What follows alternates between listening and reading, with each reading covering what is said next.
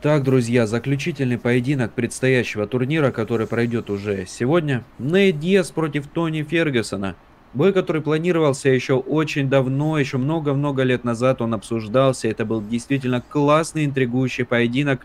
И который состоится вот сейчас, волею судьбы. Не знаю, насколько там он был запланирован, как многие говорят, что вот этот вид карда, который у нас есть сейчас, это такая вот э, какая-то внутренняя, там, mm-hmm. закулисная задумка.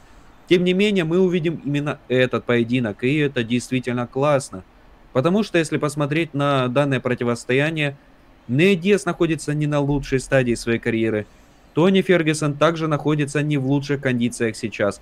Хотя, как мне кажется, кондиции его еще достаточно высоки. Мы это отмечали в разборе поединка с Джин Лянгом. Тем не менее, вот посмотреть на Тони с точки зрения его умений. Отличный универсал, хорошая ударная техника, отличное кардио – и как бы, да, действительно, у парня были определенные проблемы, но сейчас отличная возможность для того, чтобы закрыть свои поражения. И Диас, который выходит сейчас на этот поединок, ну, объективно, глядя на него, на его форму, как он готовился к этому бою, не лучшим образом он выглядел. Да, он может и выглядеть гораздо лучше, но, тем не менее, мы знаем то, что даже такой Нейт крайне опасен. Вспомни даже тот же поединок с Конором первый, где он просто буквально соскочил после отдыха на яхте. Не знаю, что он там делал, насколько он активно там отдыхал, но был достаточно заплывший. И, как мы все прекрасно знаем, шокировал мир. Сейчас у него в соперниках не Конор, но это действительно крайне интересный бой. Давай разберемся, какие шансы у Нейта сделать тут, я не знаю, если не победу, но хотя бы показать конкурентное противостояние. Да, в принципе, шансы есть у него, безусловно, и и на победу в том числе, конечно же.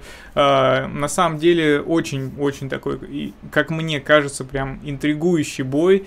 Э, возможно, ну и, и даже невозможно, в моем понимании это реально, Андрюх, намного более интересный мейн-эвент, чем был до этого. Прям вот вызывает, вызывает он некоторые ну, эмоции. Да? рубка интереснее, чем весь матч, понятное дело. Действительно, это так.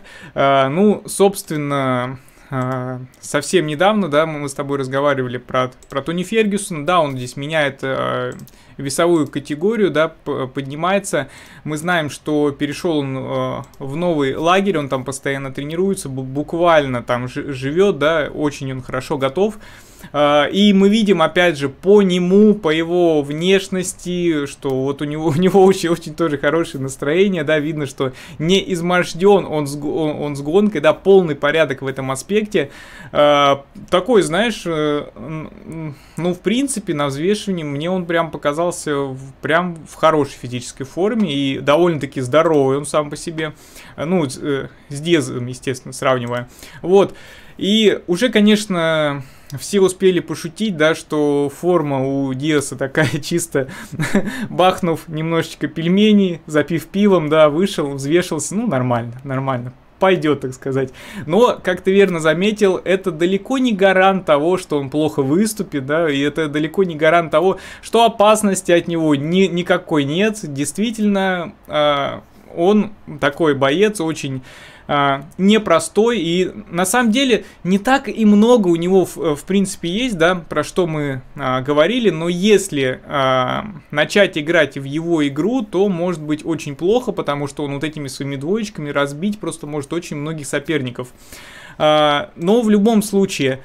Из э, последних выступлений я бы все-таки сделал такой вывод, что у Тони Фергюсона шансов побольше по той простой причине, что э, ну вот, в, в, в крайнем поединке, да, мы видели, что у него был запал, мы видели, что он активно работал, что он качественно работал в стойке, а, что он а, разбивал, да, с, а, своего соперника. Вот, по, поэтому я полагаю, что все-таки у, у Тони Фергюсона еще есть желание, еще есть э, возможности, да, а если вспомним мы два крайних противостояния Нейта Диас, да, с Масвидалем, с Эдвардсом, я хочу заметить, что работал Нейт Диас в этих боях очень и очень мало, и в основном он все-таки просто ходил, он ходил, он пропускал много ударов, и, и вот знаешь, просто изредка, эпизодически он, он немножечко включался, да, но в целом э, было такое ощущение, что, ну, ну, просто вышел, ну, вот просто вышел и все. Да, в любом случае, это, опять же, это не значит, что все, давайте списываем его, да, забираем Тони.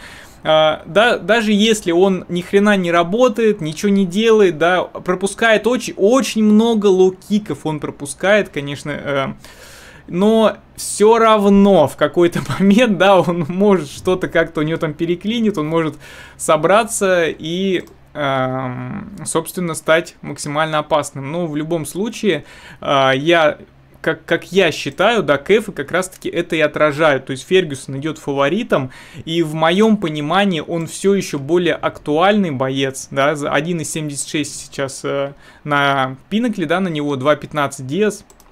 Вот, и плюс, опять же, э, мы видим, да, что Фергюсон, в принципе, заряжен, что, он э, в хорошем настроении, что он в хорошей форме.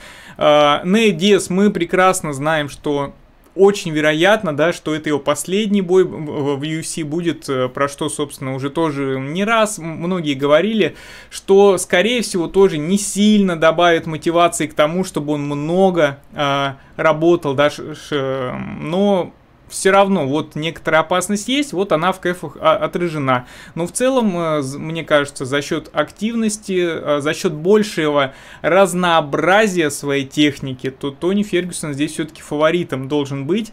И опять же, два супер таких эм, зрелищных бойца, два, два ветерана, они мне, безусловно, оба нравятся, но на данном этапе карьеры я все-таки хотел бы за Тони Фергюсона поболеть. Мне кажется, очень хороший матч для того, чтобы вернуться, камбэкнуться на победную тропу, для того, чтобы хорошо дебютировать в этом весе. А, и а, хоть идея сможет э, ударить, да, но все-таки не такой опасный матч, как э, с Джинлианом Ли, ну прямо скажем. Э, так что я бы хотел здесь все-таки поболеть за Тони Фергюсона и с букмекерами я соглашаюсь, да, ну, мое мнение такое. Да, сложно сказать вот э, по поводу Тони Фергюсона что-то, потому что многие сейчас люди шутят, что все как бы, ну, ты закончился, пора тебе уже подумать о пенсии, там э, банки с огурцами потихоньку закручивать в погребе. Но, тем не менее, Тони это вот Эль Куку это Бабай, ну, человек, у которого реально Бабай в голове живет в хорошем смысле. И этот человек, я уверен, до сих пор считает, что он лучше, что он может стать чемпионом. И вот это его приподнятое настроение, несмотря на то, что у него херова гора поражений там, и это его абсолютно не волнует, он себя по-прежнему считает лучшим. И это действительно может подарить нам очень классный поединок.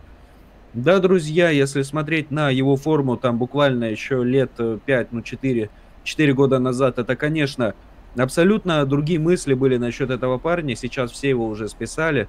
Но мне кажется, то, что Нейт, который просто элементарно не хочет драться в этой организации, угу. может, конечно, всех удивить, но не должен быть здесь фаворитом. Поэтому с раскладом того, что Тони является здесь э, более предпочтительным бойцом, я абсолютно согласен. Буду желать ему удачи и надеюсь, то, что он нас порадует наконец-то успешным выступлением.